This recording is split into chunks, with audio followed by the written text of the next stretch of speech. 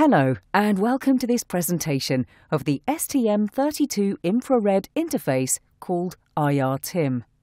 It covers the main features of this peripheral, which is used to generate an infrared remote control signal.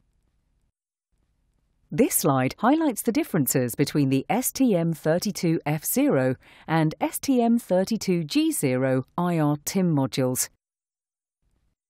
An infrared interface for remote control is available on the device. It can be used with an infrared LED to perform remote control functions.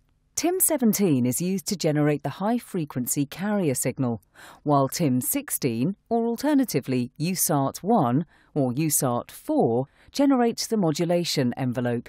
The IR output signal can be driven on GPIO's PA13 or PB9.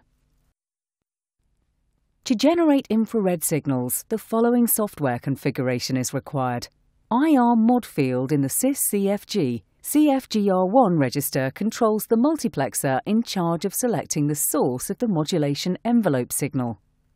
IR pole field in the SYSCFG CFGR1 register selects the polarity of the IR output signal.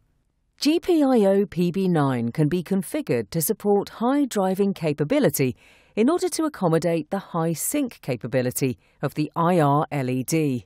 GPIO PA13 does not support this option.